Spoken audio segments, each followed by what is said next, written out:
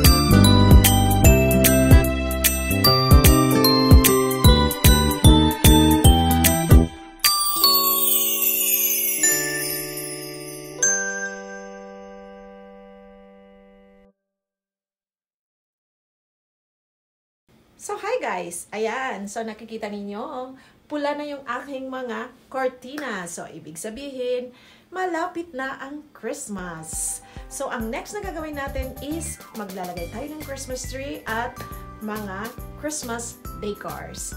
Okay? So, abangan nyo ulit mamaya ang pagbabago. So, wag aalis dahil ang aalis ay tama, papangit. Okay? So, ayan guys, ang next natin gagawin is itatayo natin yung ating Christmas tree. So, ito. Actually, kabibili ko lang ng Christmas tree na to. This year, uh, I choose white Christmas tree para maiba naman siya.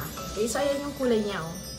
Ayan. So, i-assemble natin ito ngayon. Anong kukunin natin? Ito. Ito! Yung pinakadulo. Ayan. Yes, ito. Ang ganda o, puting-puti. So, next is number 3. Ayan, may number siya. Okay, number 3. Next na ilalabas natin is number 2. Ayan, baliktad yata yung aking bilang. Okay, so ganun talaga. Count down from 3 to 1. Okay? Next is ito yung kanyang mga paa. Okay? Set 3. Merry Christmas! Ayan, yung kanyang mga paa. Next is karton. Okay? Hindi siya kasali. Next is ayan, hindi ko alam kung ano ang laman nito. So, mamaya bubuksan natin. Next is hindi ko siya maabot dahil nasa dulong-dulo. Ayan. Okay? So, gagawin natin is ayan.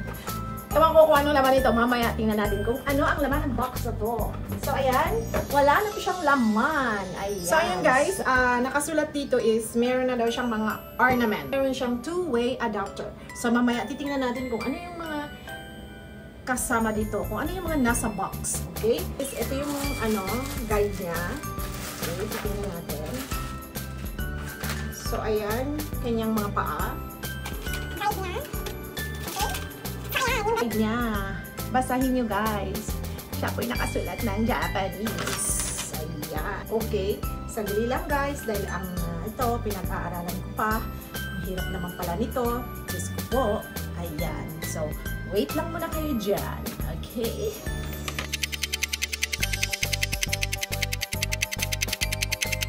So, first, ito daw. Itayo natin. Okay? So, eto siya ilalagay dito. Okay?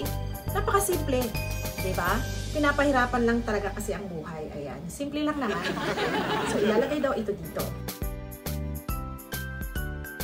Yun yung iba. Ayun. Perfect. Okay? So, next is ito naman. Ayun. Pasok siya. Ay, napakaliit. Ayan, oh. Pala niya? Okay. So ngayon, itayo natin siya ha.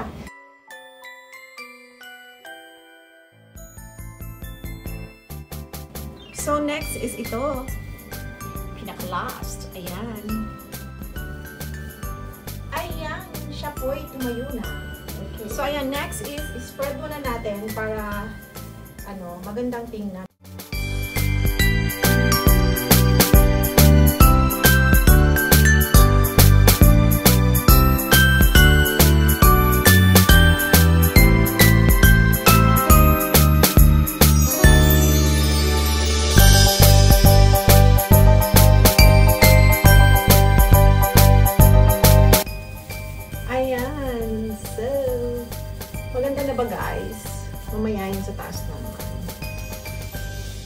Ayan guys, hindi pa ako tapos. Ayan.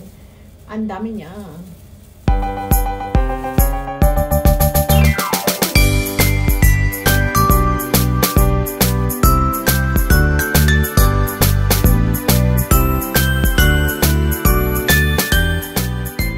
Ayan guys, ah, yung part na to, tapos ko na siya. So ayan guys, itong part naman na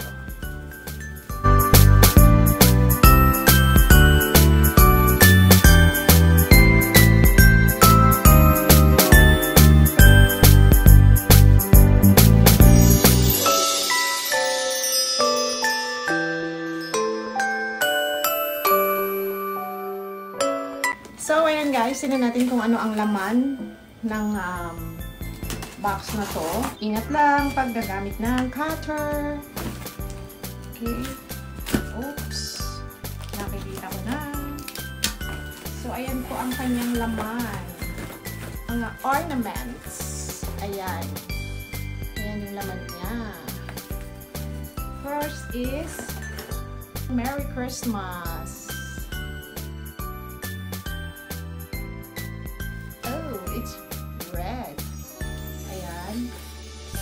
Siya. No? Pag binili mo siya, set na. Ayan, may mga ribbons. Ayan. Ribbon. Okay. Meron siyang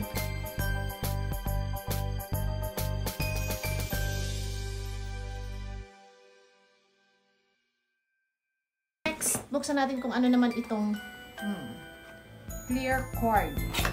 Sa cord. Ayan. Yes, meron guys, oh, nakabit ko na siya. Ayan. So, yun. Meron na siyang, ano, mga ornaments. So, yung kanina na, ito, ito yung lights niya.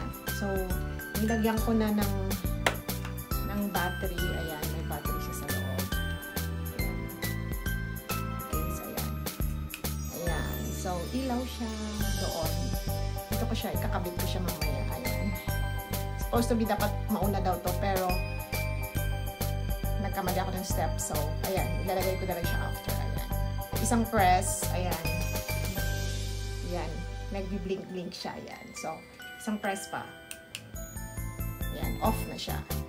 Okay, so, ilagay ko muna siya doon.